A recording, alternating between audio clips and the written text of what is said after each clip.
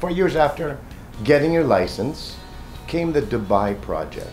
I had to work for Philippine government for two years because I have a triple scholarship grant at UP, United Nations Scholar, Department of Public Works Scholar, and UP Scholar.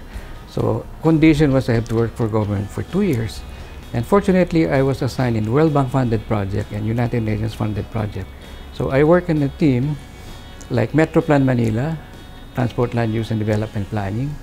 And it was one of the best metro plans in the world that time. Unfortunately, not implemented. It's the people in Dubai who noticed me in that metro, metro plan because I was team leader and senior planner for development planning. And there were expatriates working with us also, mm-hmm. experts.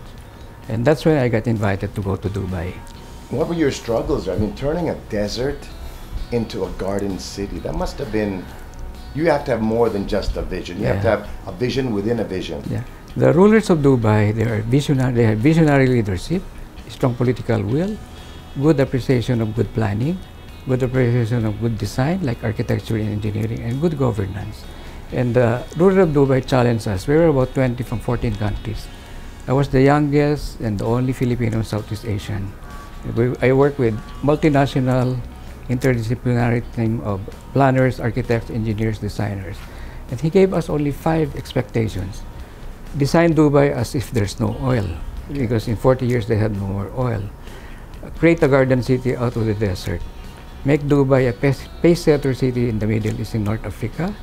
And learn from lessons from the best cities in the world. Number five, which I like very much, we're encouraged to go around the world one month for every year of service and get inspiration from the leading cities in the world and bring it back to the conversation. You described Dubai perfectly. Yeah, and make Dubai a first world country in less than 15 years.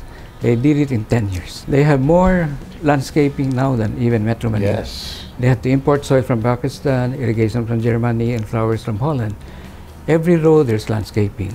And by the way, the roads we plan, hopefully they will have one third for trees and landscaping, one third for pedestrians, bicycles, and one third for or vehicles.